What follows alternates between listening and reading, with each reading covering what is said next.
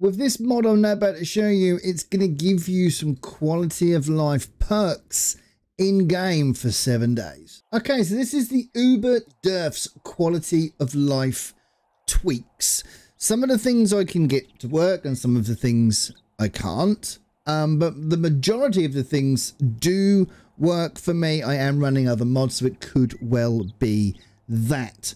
But let me just read off some of the things that um, that they have done. So they've increased the following resources: forest ground, burnt forest ground, desert ground, sand, snow, um, iron, lead, coal, nitrate, and oil.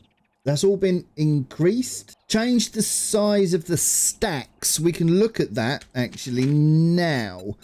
Um, let's just. I've got the. I've got this on actually we can do it from this. So if I do if I do food, so now food stacks to 50 cans, which is great, and water also stacks to 50. Okay, so that's the, that's your basic food and waters that is done there. Um, ammo is the next one that's been changed. Ammo now stacks up to 500 instead of is it 250 or something it stacks to? Can't remember now. But so that's been increased. Um all of the medical supplies so uh the bandages they now stack up to 50 instead of i think that's 10 or 5 might even be vanilla in there. Um and all resources. So if we go for wood it's now it's now stacks to 7,500 vehicles. One extra row on all vehicle storage. One extra row, which I think is pretty damn good for the for the bike. Um, you know, you, you, you get the one row, and it is amazing when you are just playing standard vanilla, which I do, which I do love. I do love my vanilla uh, my, my, vanilla playthroughs, but I just think that these the mods I'm reviewing at the moment will help people early stages. So this will give you an extra row on all vehicles. Also, it does state that it has increased the amount of feathers and eggs that you can get from nests the other thing that I've been I've been running around and trying, it does say that you can pick up certain decorations.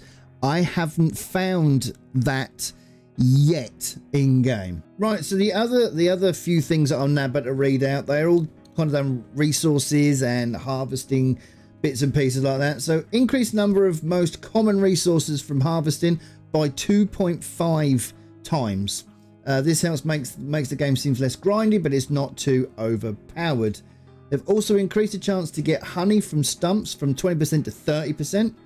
Decreased the trader sell price from three times item cost to two times item.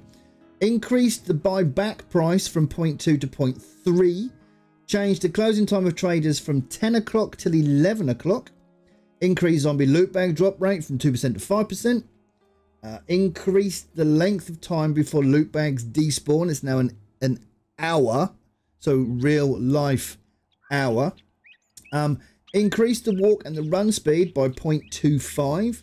Changed mod slots to match item tier level. Reduced the distance that zombies are able to hit the player. And added a chance to find glue and duct tape in other containers. The only thing I can't seem to do is pick up the movie posters and stuff or the paintings and the pictures. Um, I can't seem to do that in in POIs at at the moment. So, but that's the only thing I can't really get to uh, get to work. There we go. UberDerf's quality of life tweaks. This will help people early game. If you want to get into seven days and you find the vanilla grind too much, use mods like this where it just helps you out a little bit and then get rid of the mod and then try. Once you get into the game then start playing it. Bring in the vanilla. Vanilla game is amazing. Do not get me wrong because I do these mod reviews. Don't ever think I feel like um, Seven Days to Die is um is not great in vanilla because it absolutely is. But if you are going to use this mod, drop me a comment in the comment section. Make sure you drop a like. Make sure you drop that comment. Subscribe if you are new. I can't even remember my own outro now. Subscribe if you are new. Look after yourselves. Take care of each other. Catch you in the next one.